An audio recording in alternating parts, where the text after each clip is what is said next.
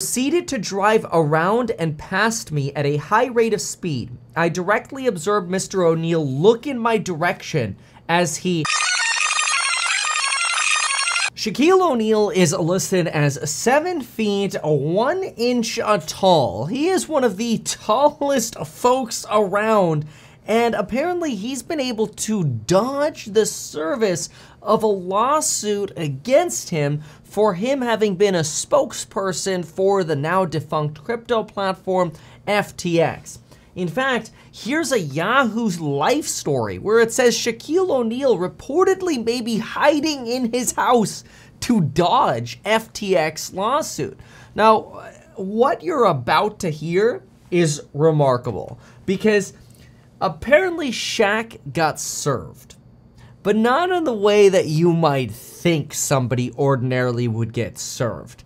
This is odd. This is like straight out of like a James Bond 007 Bourne Identity style thriller. This is intense, and I'm gonna go through the affidavit, the sworn affidavit with you, showing you how Shaq ended up getting served. Or did he? We'll talk about that. First, you have to know a couple things.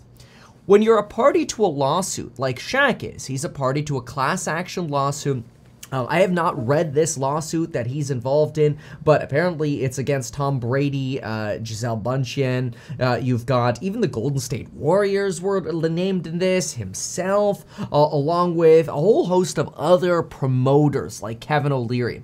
This is different from the FTX lawsuit against a group of YouTubers that apparently is floating around out there.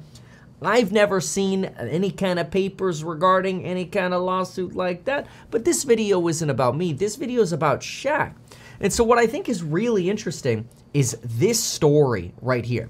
Take a look at this.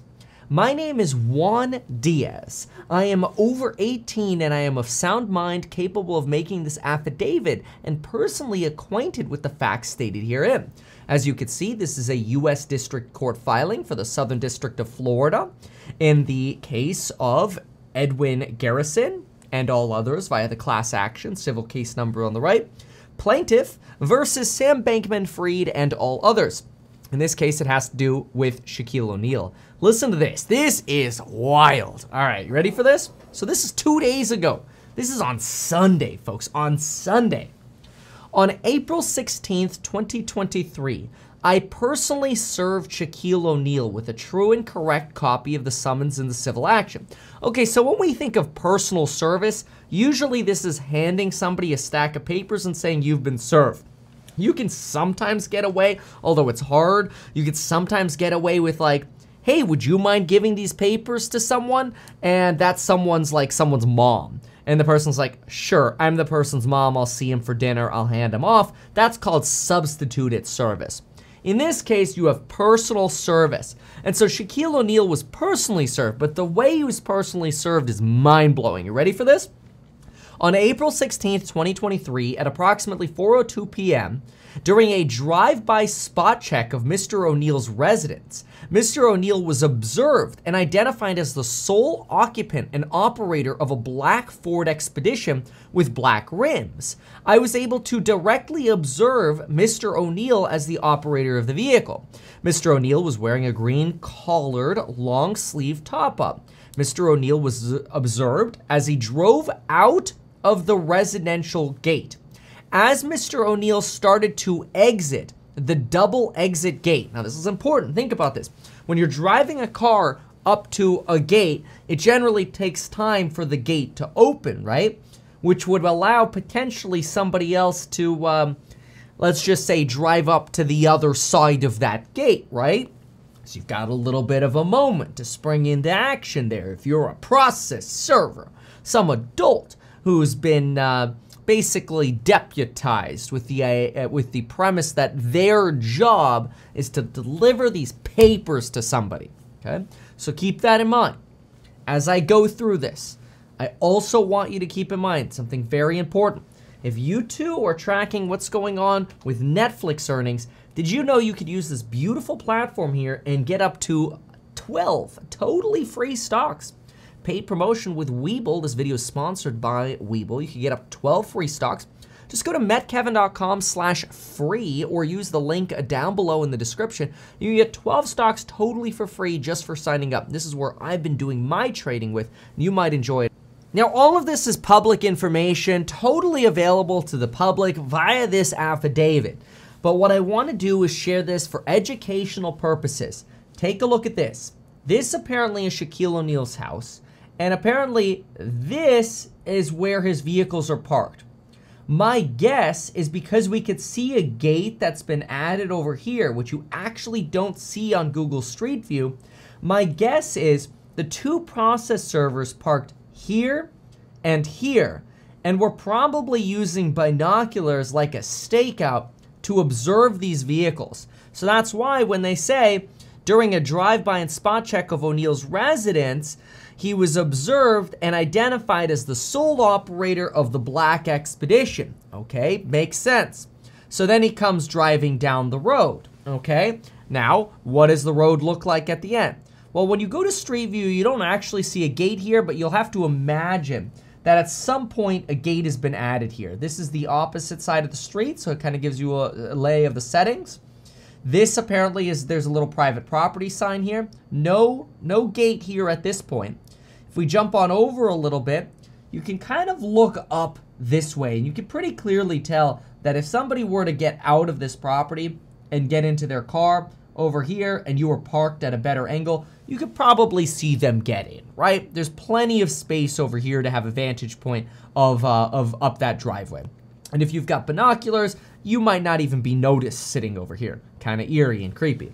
But anyway, what ends up happening? So they were on both sides of the driveway, all right?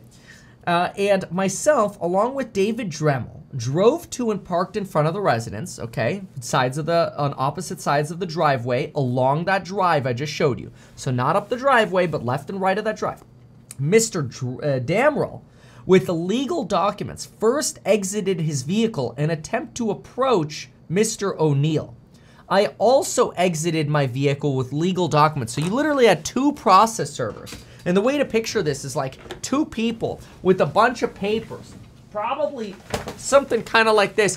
Hey, hey, we have papers for you. Something to make it really obvious that they have papers for you, right? It even says uh, in their left hand and raise them to Mr. O'Neal's direct view.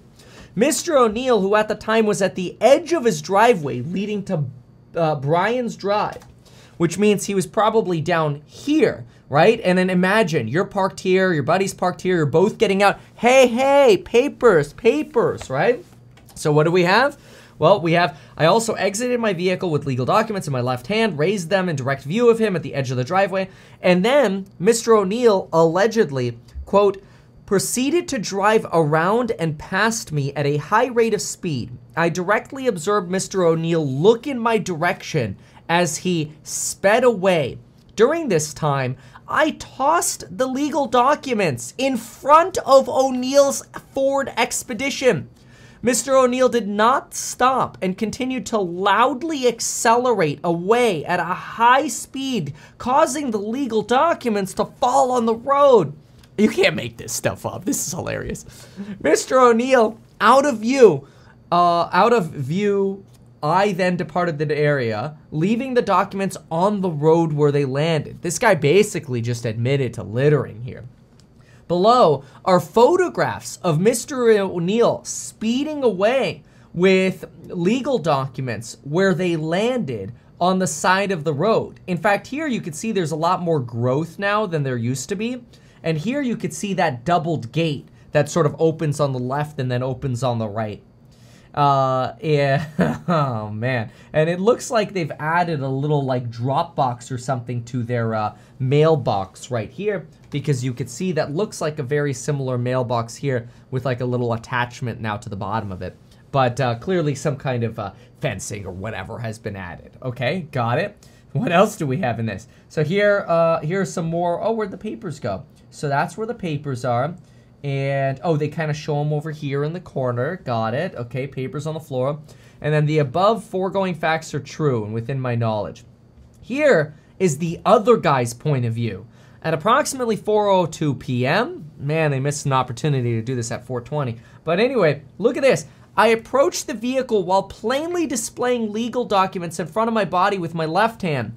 Mr. O'Neal's Ford Expedition slightly swerved to the right, going several inches into the shoulder as he noticed Mr. Diaz, who was also present, and parked on the opposite side of the driveway holding legal documents while also addressing Mr. O'Neal.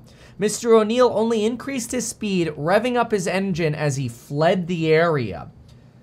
While the above event played out, there was a second vehicle that also witnessed the event that was exiting at the same time of a secondary driveway further down the road.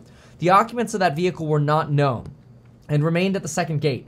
Uh, Mr. O'Neal was uh, no longer in the area. That vehicle then drove out of sight somewhere else. Fine. I exited the vehicle and approached the Ford Raptor. That was the other vehicle. The operator rolled down his window. I informed the two male associates that Mr. O'Neal had been successfully served legal documents. The two assist assistants replied along with the lines of, We know nothing about that. You do your thing. I then returned to my vehicle and once inside, the passenger of the Ford Raptor exited and walked towards the rear of my vehicle as if to check my license plate. I then rolled down my window to acknowledge him. The individual told me that he already knew it was a rental. I replied that he would be able to get my information from the courts once service is filed. The passenger replied politely that I should do whatever I need to do and there was no problem. Okay? As I began to depart the area, I noticed a police car approaching my direction. I immediately pulled over to the side of the road. The officer pulled alongside me, rolled down his window to converse. I was then informed that uh, there had been a call of suspicious vehicle uh, uh, parked along the side of Brian's Drive. Presumably, Shaquille O'Neal called the police and was like, hey man, there's some weirdos outside my properties throwing papers at me, or whatever he may have said. Uh, could, could you go check that out, right?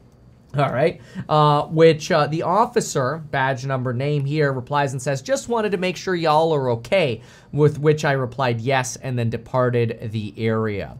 Wow. Now, we do also have the attorneys who filed this. They uh, apparently filed um, a uh, tweet on Twitter. There were some news stories about this, how apparently uh, they tweeted saying, hey, Shaquille O'Neal, we got you.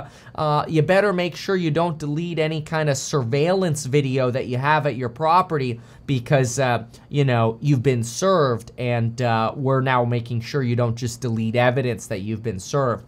This is actually that particular tweet right here. Update. The plaintiffs in the billion dollar FTX class action case just served Shaq outside his house. His home video cameras recorded our service, and we made it very clear that he's not to destroy or erase any of these security tapes because they must be preserved for our lawsuit.